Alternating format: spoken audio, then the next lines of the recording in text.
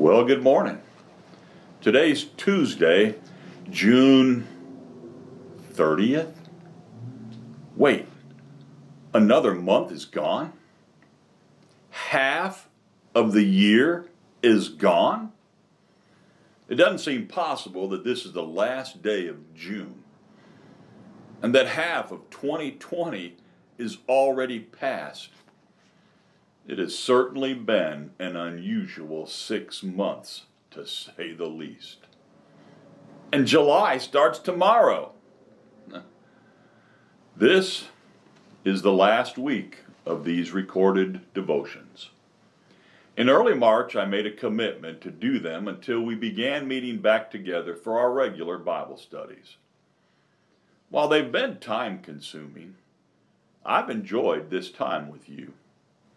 I know that while time passes, the word of the Lord endures forever. Time.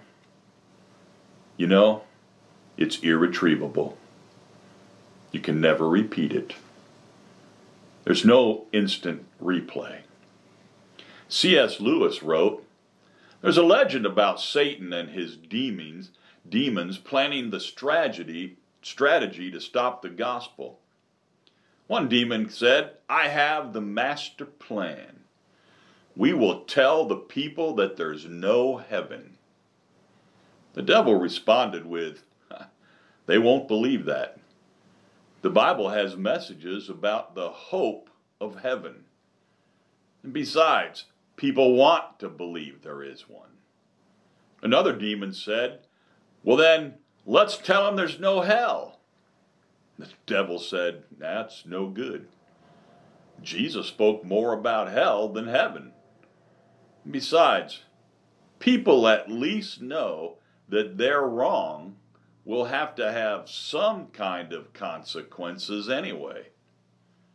A third demon said, Then I know the answer.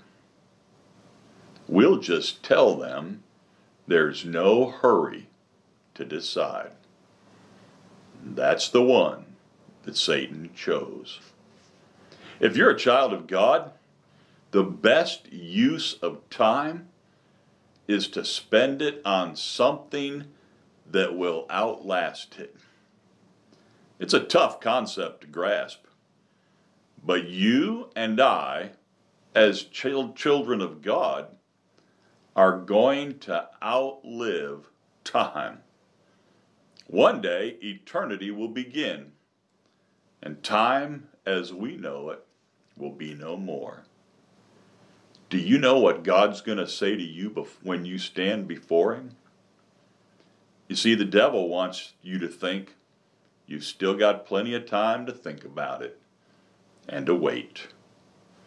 But there's no promise of another day. You need to make that decision today. Come the way God says. Confess your sin. Tell God that you're sorry for your sin. And trust His Son, Jesus Christ. Put your faith in Him and surrender your life to Him. God will forgive you, cleanse you, and adopt you. Here's what God says Today is the day of salvation. You know what the devil says? Nah, you've got time. Wait. Now stop and think about that.